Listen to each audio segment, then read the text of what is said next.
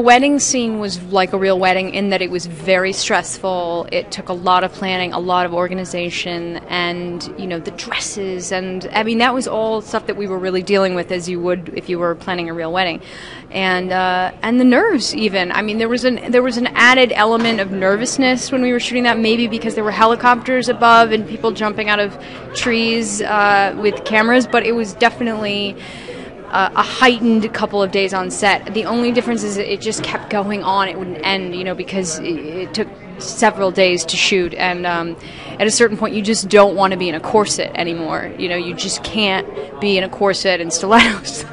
for another moment, uh, but it was really magical, and and you know vampires aren't supposed to cry, and that created a, a real um, obstacle for all of us vampires. Seeing these, you know, seeing Kristen walk down the aisle with Billy Burke walking, I mean, seeing Billy Burke killed me.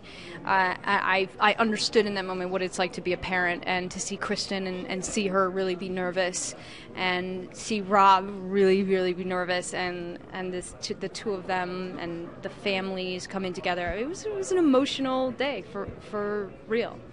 The 2011 MTV Movie Awards at 9. The ABDC finale at the red carpet at 7:30.